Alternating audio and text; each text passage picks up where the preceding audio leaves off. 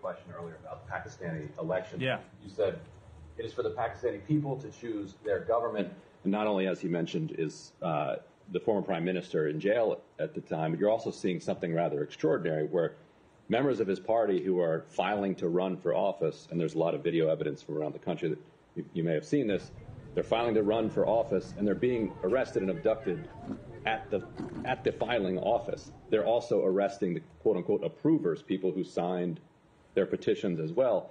So you're not going to have any candidates for the people to choose from. So how can Pakistani people choose their government if there's nobody to choose from on, on the ballot? And is this something uh, that is concerning? So I will say, without commenting on that, the, the specific matters, we want to see um, free and fair elections that are conducted in accordance with Pakistan's laws. It's not for the United States to dictate to, to Pakistan um, uh, how it conducts uh, the spe- exact specifics of how it conducts its election, um, but to make clear that we want to see those elections conducted in a free, fair, and peaceful manner that includes freedom of expression, peaceful assembly and association, uh, and ultimately a full, uh, open, reliable, vibrant democratic process. But it feels like election rigging of this level would merit sanctions if any other if a Maduro-like government did something like this. It would seem like uh, the State Department might come down a little harder. This is 250 million person democracy. Uh, and we will continue to support uh, democratic expression and uh, vibrant democracy in Pakistan, but I don't have anything to preview from here.